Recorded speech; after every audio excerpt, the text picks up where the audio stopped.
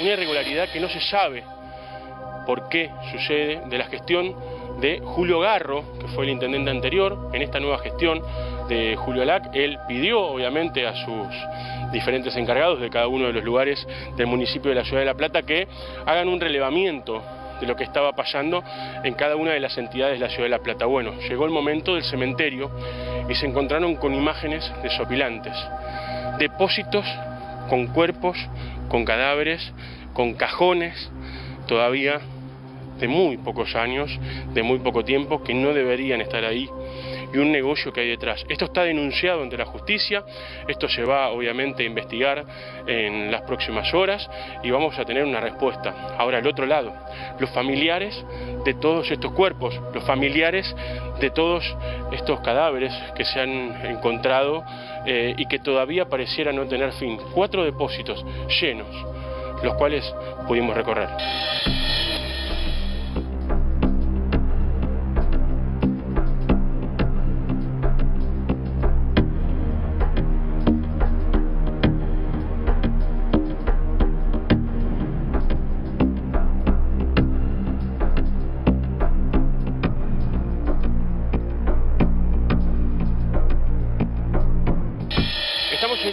De la ciudad de La Plata, donde pueden encontrar en este lugar aproximadamente 200 féretros, bolsas con cadáveres, restos de personas adultas y también de niños.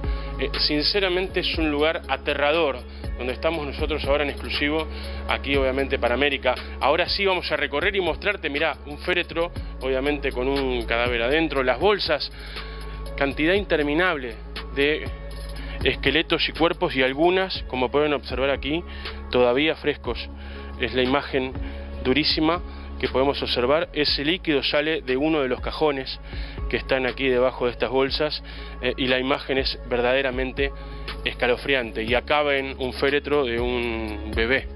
Como pueden observar es un pequeño cajón de, un bebé eh, que ahí se observa obviamente una de las peores imágenes eh, que vamos a estar recorriendo. Bueno, esto se repite a lo largo y a lo ancho de este gran depósito, fíjense lo que es por donde estamos caminando en este momento, donde pueden encontrar cajones apilados, algunos llenos, otros vacíos y la cantidad de bolsas con restos óseos que no termina, el olor fuerte, nauseabundo. Vengan, miren, seguimos recorriendo para este lado Aquí hay otro féretro de aluminio de otro niño. Miren esta imagen, es verdaderamente escalofriante. Y este es otro de los salones donde no terminan la cantidad de cofres apilados, uno encima del otro, con cuerpos y otros bolsas de nylon con esqueletos ingresar a otra bóveda en exclusivo, único medio que va a poder ingresar a este lugar prácticamente de la República Argentina. Miren lo que es este nicho, este azótenas, esto se llamaba, se llama La Protectora, era un lugar de monjas donde eh, antes obviamente venían los cuerpos a este lugar que no tenían eh, el lugar para ir y demás, pero miren lo que es esto, el agua estancada en el fondo, esto es como una película prácticamente de terror.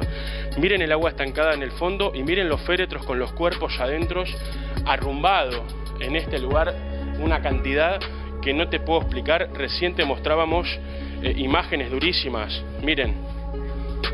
Bien, no sé hasta dónde te puedo mostrar y si me ven bien, pero lo que hablábamos de cadáveres y partes de cadáveres. Miren, esto es eh, la pierna de una persona. Vamos a mostrar lo que se pueda, lo voy a tapar, pero es una parte de un cadáver todavía que está tirado, que ha quedado acá.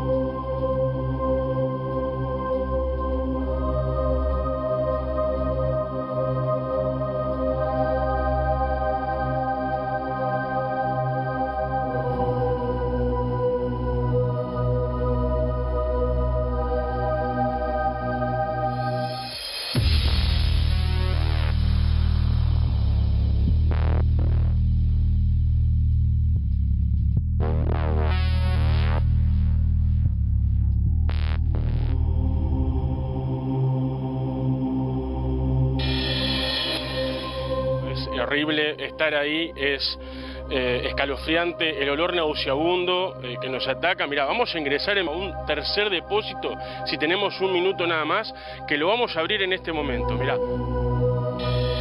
Primero moscas, mosquitos, obviamente todo.